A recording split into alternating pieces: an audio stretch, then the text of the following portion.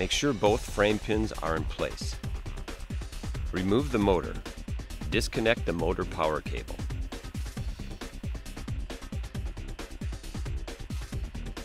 Remove the toggle latch pin, then open the rear toggle latch. Support the motor, then remove the motor alignment pin clip, motor alignment pin washer, and the motor alignment pin. Set the motor aside. Disengage both mixing tube toggle latches and remove the mix head assembly. Remove hopper ring pins. Remove mixer. Lift the mixer off of the stand. If desired, fold the cart stand for storage convenience.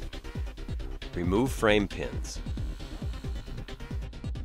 Flip the cart stand upside down and lay on a level surface. Align cart stand legs and fold together.